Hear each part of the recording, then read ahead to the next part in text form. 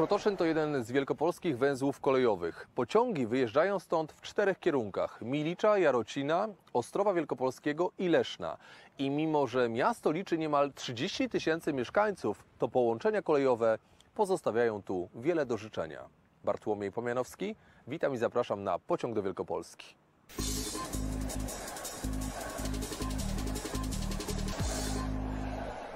Raptem cztery pary pociągów. Tyle połączeń każdego dnia uruchamianych jest pomiędzy Krotoszynem a Poznaniem. W tej chwili pociągi w ogóle zniknęły z torów na tym kierunku, ponieważ pomiędzy Jarocinem a Koźminem Wielkopolskim prowadzony jest remont. Pytanie, czy inwestycja ta w przyszłości poprawi ofertę przewozową.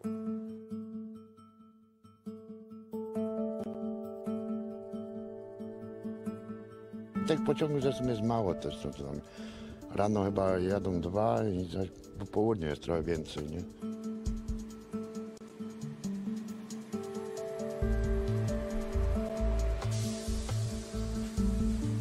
Krotoszyn, jeżeli chodzi o połączenia kolejowe, pomimo, że ma rozliczne linie łączące z województwem, niestety są to linie, które są w bardzo złym stanie technicznym, w związku z tym liczba pociągów, które tam uruchamialiśmy, była i jest na tym etapie niewielka. To są cztery pary pociągów, na przykład z Jarocina e, do Krotoszyna, czy potem dalej do Milicza, no i pojedyncze linie już niezelektryfikowane do Leszna czy, czy do Ostrowa.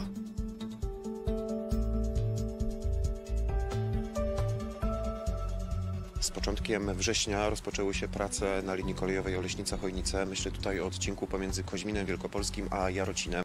To jest około 14-kilometrowy odcinek, który zostanie przebudowany. Będą nowe tory, będą nowe elementy sieci trakcyjnej, będą także nowe urządzenia systemu sterowania ruchem kolejowym. Co istotne, na stacji Koźmin Wielkopolski zabudowane zostaną także nowe rozjazdy, a więc ważne elementy infrastruktury kolejowej, które pozwalają na płynną zmianę toru jazdy, które też wpływają na poprawę przepustowości e, tego odcinka. E, Co istotne, w ramach tych prac, które są realizowane, zwiększy się także bezpieczeństwo na tej trasie, ponieważ e, ta inwestycja obejmuje remont kilkunastu przejazdów kolejowo-drogowych. To są przejazdy m.in. w Nowej Obrze, m, w Golinie czy w Koźminie Wielkopolskim.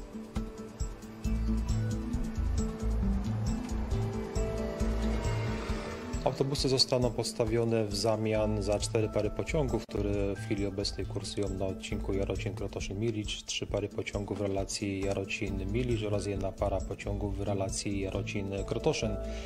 Autobusy będą odjeżdżały z dotychczasowych przystanków kolejowych, poza dwoma wyjątkami, to jest przystanek Wolenice, który w chwili obecnej zlokalizowany jest przy drodze krajowej nr 15 oraz e, przystanek kolejowy Cieszków, który w chwili obecnej jest zlokalizowany przy rynku, czyli jakieś około 500 metrów od stacji kolejowej.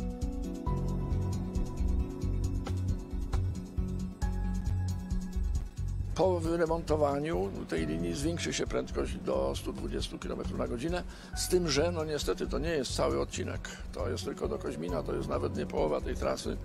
E, Druga połowa czeka na realizację E, i z tego co się orientuję PKP PLK zabiega o środki, które pozwoliłyby również i wyremontować ten pozostały odcinek. No i wtedy, wtedy gdy prędkość przewozowa by oscylowała wokół 100-120 km na godzinę, jest sens, żeby po prostu zwiększać liczbę pociągów i o tym rzeczywiście myślimy. Natomiast na tym etapie w tej chwili, gdy stan techniczny tej linii jest taki, jaki jest, no to trudno przewidywać istotne zwiększenie połączeń.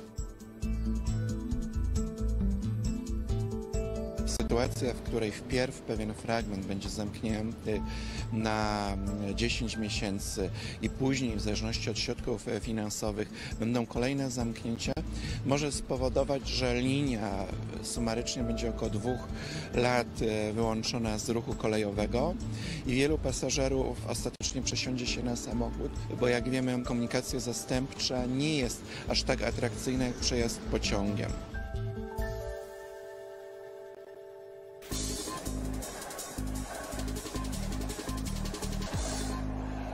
Wypadki na przejazdach kolejowo-drogowych to plaga. Nie od dziś. W naszym archiwum znaleźliśmy film z roku 1986, w którym jeden z kolejarzy podsumowuje zachowania kierowców właśnie na przejazdach.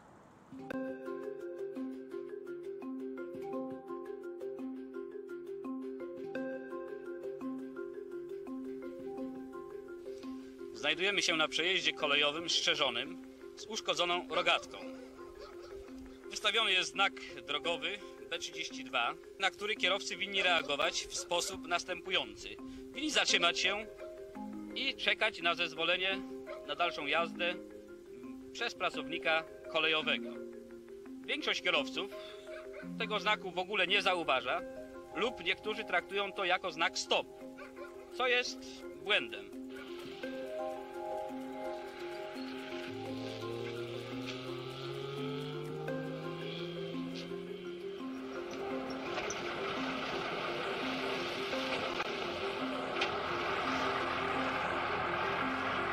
Granicach przejazdu kolejowego obowiązuje zasada ograniczonego zaufania. Obojętnie, czy to jest przejazd kolejowy szczerzony, czy przejazd kolejowy nieszczerzony. W związku z tym kierowca winien zachować szczególną ostrożność przy przekraczaniu tego przejazdu kolejowego. Lekceważenie obowiązków poprzez kierowców doprowadza do wypadków. Wypadków takich w roku 85 na przejazdach szczerzonych jak i nieszczerzonych zanotowaliśmy 51.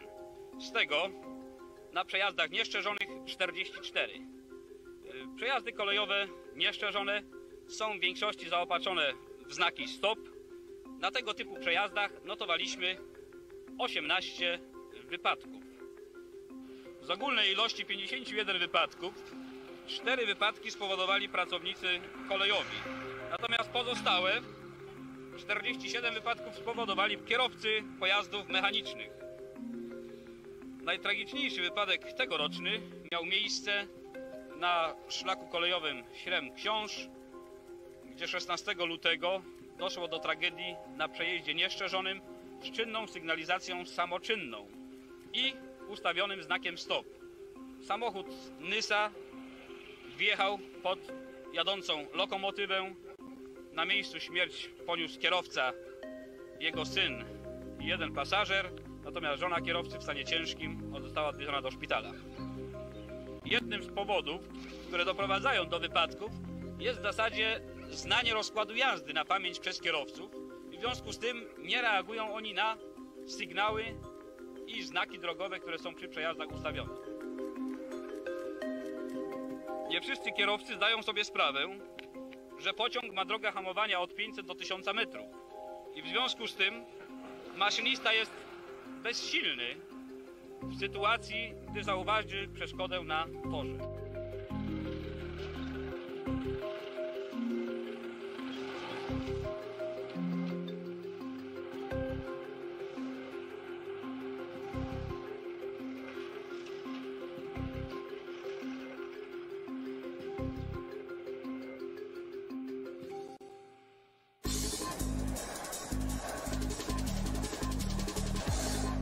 Teraz Wasze miejsce w naszym programie.